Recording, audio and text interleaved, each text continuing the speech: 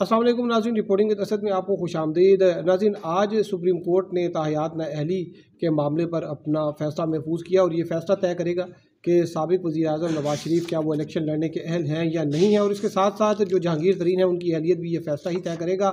یہ فیصلہ کیا ہوگا؟ اور اس کے ساتھ ساتھ جو سینٹ نے ایک قرارداد منظور کی ہے الیکشن ملتوی کرنے کے حوالے سے، اس کی قانونی حیثیت کیا ہے؟ اس پر بات کریں گے۔ سینئر کورٹ رپورٹر ہیں ناصر اقبال صاحب۔ ناصر اقبال صاحب، یہ بتائیے کہ یہ جو فیصلہ آج جو ہے، وہ آپ کے خیال میں کیا ہو سکتا ہے؟ شکریہ۔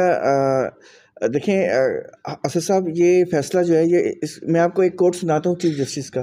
انہوں نے آج ہیرنگ کے دوران ونسٹن چرچل کا ایک کوٹ سنایا تھا، جو انہوں نے ایک ریڈیو اسپیچ میں کہا تھا۔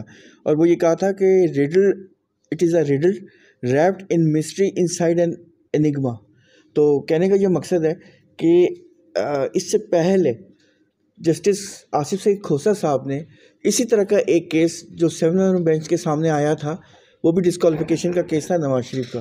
یہ اس پہ انہوں نے یہ کہا تھا کہ یہ article sixty two one F کو انٹرپریٹ کرنا اتنا مشکل کام ہے، کیونکہ یہ کوئی بندہ بھی نہیں کہہ سکتا کہ یہ جو فلاں شخص ہے، یہ آنیسٹ ہے، امین ہے۔ تو جو آپ نے بات کی کہ فیصلہ کیا آئے گا، فیصلہ یہ آئے گا کہ سمیع اللہ بلوچ کے حوالے میں یہ ڈٹرمن ہوا تھا نا جو کیس تھا جو کیس تھا دو ہزار اٹھارہ کا کیس ہے جس میں یہ ڈٹرمن ہوا تھا کہ جو بھی ممبر ہے وہ اگر سکسٹی ٹو ون ایف میں ڈسکوالیفائی ہوگا تو وہ ہمیشہ کے لیے لائف بین ہے۔ یعنی وہ ڈسکوالیفائی فار لائف ہو جائے گا۔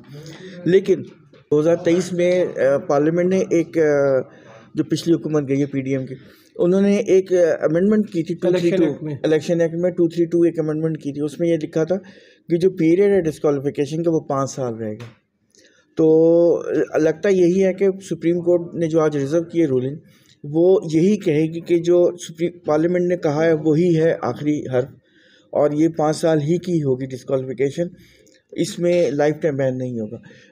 اسپیشلی اٹرنی جنرل صاحب نے بھی اور مخدوم علی خان صاحب نے بھی آج سپریم کورٹ کو یہ بتایا ہے کہ سمیع اللہ بلوچ کی جو ججمنٹ ہے وہ لکھی تھی جسٹس بندیال صاحب نے۔ لیکن جسٹس بندیال صاحب نے اس کے بعد آصف سعید کھوسا صاحب کی بھی ججمنٹ لکھی تھی اور اس کے بعد فیصل واڈا صاحب کی بھی ججمنٹ لکھی تھی اور بھی کچھ ججمنٹس لکھی تھی جس میں انہوں نے جو ویو لیا تھا نا سمیع اللہ بلوچ کا اس سے ہٹے ہیں وہ۔ سمیع اللہ بلوچ میں انہوں نے کہا تھا کہ جو ڈسکوالیفیکیشن جہاں پہ پیریڈ جو ہے وہ کیا گیا تو ہاں۔ وہ تاحیات ہے۔ لیکن فیصل واڈا کے کیس میں انہوں نے کہا کہ نہیں اطاعت جو ہے وہ تو غیر اسلامی ہے۔ یہ تو توبہ جیکونین جیکونین کا کہا تھا اور یہ کہا تھا کہ چونکہ انہوں نے توبہ کر لی ہے اور جینون توبہ یعنی جینون جو کیا کہتے ہیں ریپینٹنس تو یہ کافی ہے کہ ہم اس میں نہ جائیں کہ یہ تاحیات نااہل ہیں کہ نہیں۔ اسی طرح خواجہ آصف صاحب کا جو ججمنٹ ہے اس میں بھی یہ کہا گیا تھا کہ ہمیں یہ دیکھنا ہے کہ انٹینشن کیا تھی۔ مطلب قانون موم کی ناک تھی اچھا ہاں۔ صاحب یہ بتائیے کہ جو یہ اب لگتا یہ ہے کہ شاید اگر وہ جب ویو ہے سپریم کورٹ کا جو الیکشن ایکٹ میں بھی ہے تو اس سے یہ تو ہو جائے گا کہ پانچ سال کی لیکن جو ابھی ایک نیا معاملہ ہے کہ جو نیب کے قانون میں ڈسکوالیفیکیشن وہ دس سال ہے تو اس کا کیا ہوگا؟ وہ بھی ایک ایکٹ ہے اور یہ بھی ایک ایکٹ ہے تو پھر نہیں دیکھیں یہ تو الیکشن میٹر ہے نا۔ اور نیب کا تو ایک اکاؤنٹیبلٹی کا معاملہ آتا ہے وہ اسپیشل لا ہے۔ وہ ایک اسپیشل لا ہے وہ اکاؤنٹیبلٹی کے حساب سے۔ لیکن وہ بھی کسی وقت پہ جو ہے وہ طے سپریم کورٹ میں ہی ہوگا۔ ہاں۔ تو نا صاحب یہ جو ابھی قرارداد جو پاس ہوئی ہے سینٹ میں جس میں انہوں نے کہا جی کہ یہ الیکشن ملتوی کیے جائیں۔ اگرچہ دیکھیں قاضی فائزیسہ صاحب جو چیف جسٹس ہیں انہوں نے تو بڑے واضح طور پر کہا تھا کہ ایسی باتیں نہ کریں گھر میں اپنی بیگمات سے باتیں کریں۔ تو انہوں نے تو بڑا آج جناب وہ کیا، اس پہ سنا وہ نیت بخاری صاحب نے ان کو نوٹس بھی ہوا، انہوں نے بھی حمایت کی ہے اس کی۔ کوئی دس بارہ لوگ ہی تھے، تو سو کا اکثریت ہوتی ہے تو دس پرسنٹ جو لوگ تھے وہ اس میں ووٹنگ میں شریک تھے۔ اور ان میں سے بھی جو ہے وہ بڑی ایک تھن میجورٹی کے ساتھ جو انہوں نے اپروو کیا۔ تو کیا اس کا جو ہے وہ سپریم کورٹ نے جو ایک فیصلہ، جو ایک ڈیٹ دی ہوئی ہے آٹھ فروری کی، تو کیا اس سے کوئی اثر پڑے گا اس تحریک کا، قرارداد کا؟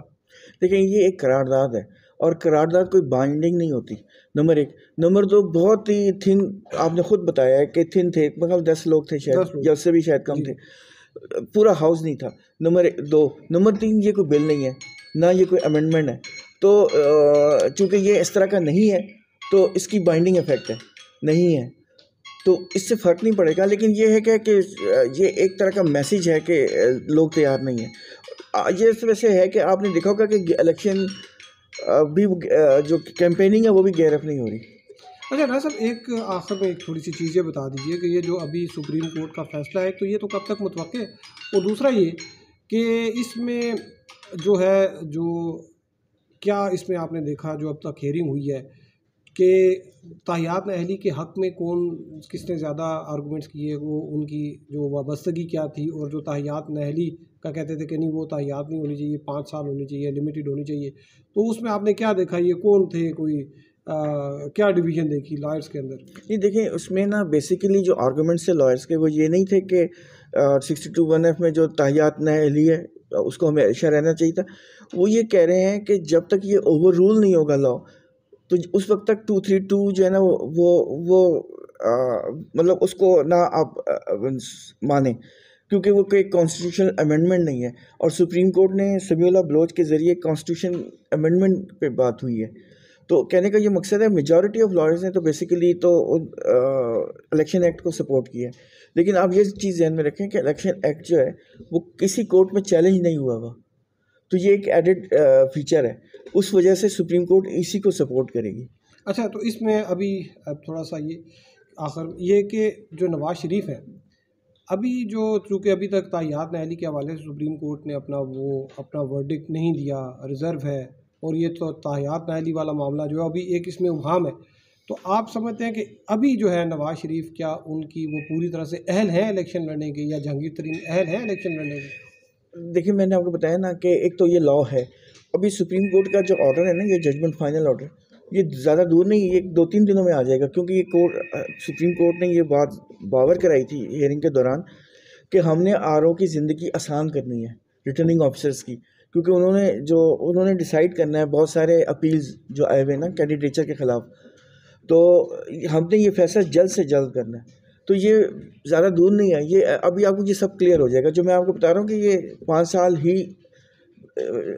بظاہر ایسا ہی لگ رہا ہے کہ یہ پانچ سال ہی پانچ سال تو مطلب اس کا مطلب ہے کہ جو نواز شریف ہے وہ اپیرنٹلی وہ اہل ہیں الیکشن لڑنے کے جہانگیر ترین بھی جو ہے آج تو مخدوم علی خان صاحب نے تو جہانگیر ترین خان صاحب ہی کو ریپرزینٹ کیا۔ ہاں تو وہ مطلب دونوں اپیرنٹلی وہ الیکشن لڑنے کے اہل ہیں لیکن یہ ابھی سپریم کورٹ کی ورڈک سے یہ چیزیں کلیئر ہو جائیں گی اور باقاعدہ ان کو ایک سمجھیں کہ ایک اجازت جو ہے وہ ایک طرح سے وہ مل جائے گی۔ لیکن اگر نہیں آتا تو پھر بھی ہے لیکن اس کے چانسز کم ہیں۔ شارٹ آرڈر تو ایک آدھ دنوں میں آ جائے گا۔ شارٹ آرڈر ایک آٹھ دنوں میں آ جائے گا۔ بہت شکریہ نام ناصر اقبال صاحب۔ تو ناصر اقبال صاحب جو انہوں نے بتایا کہ جو ابہام ہے ڈسکوالیفیکیشن کے حوالے سے یہ سپریم کورٹ کی ججمنٹ جو کہ ایک آدھ دن میں آ جائے گی اس سے یہ بھی ختم ہو جائے گا۔